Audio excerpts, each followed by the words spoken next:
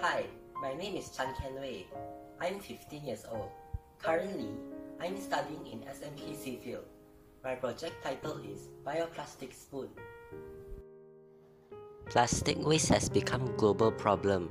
Plastic pollution is growing. Plastic is a substance that the earth cannot digest. According to a 2015 study in Science magazine, Malaysia is the 8th worst country worldwide for plastic waste. Research shows that by year 2025, there could be a ton of plastic for every 3 tons of fish in the ocean. Did you know that every year, 6 million tons of non-durable plastics like spoons, forks, and knives are discarded?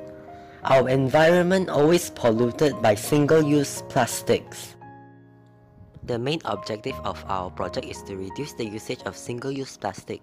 Hence, we have made a bioplastic spoon from our daily food waste which is eggshells and plant-based bioplastic tapioca starch. Now, let me brief you about the making process of our bioplastic spoon.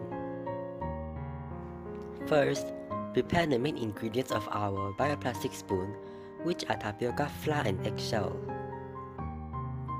After cleaning the eggshell, smash it until it becomes powdered form.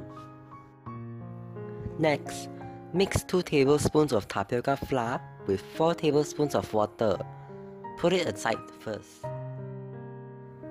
In order to kill the bacteria, we cook the eggshell powder inside the pot with 50 ml of water with the temperature of 100 degrees Celsius for 3 minutes.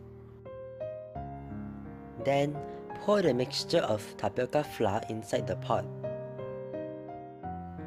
Cook and keep stirring it about 30 seconds until it becomes sticky form. Lastly, quickly pour it out and mold it into the spoon shape. Keep it dry for 24 hours. Finally, our bioplastic spoon is done.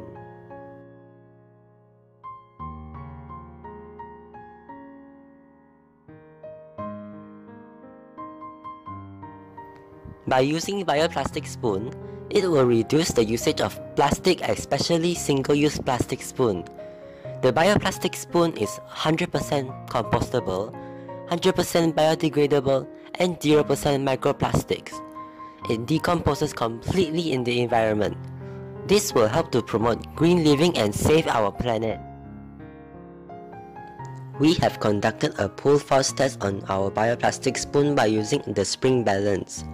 The result shows that it is able to hold 3 newtons, which is equivalent to 300 grams of rice.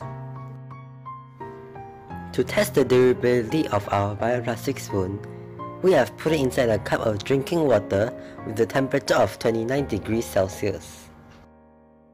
The result shows that it has only a mild sign of melting after 20 minutes later. This bioplastic spoon is suitable to scoop any powdered type of materials such as Milo or milk powder and even our daily food, which is rice. Stop using plastic cutlery. Say no to single-use plastic. Save the earth. Thank you.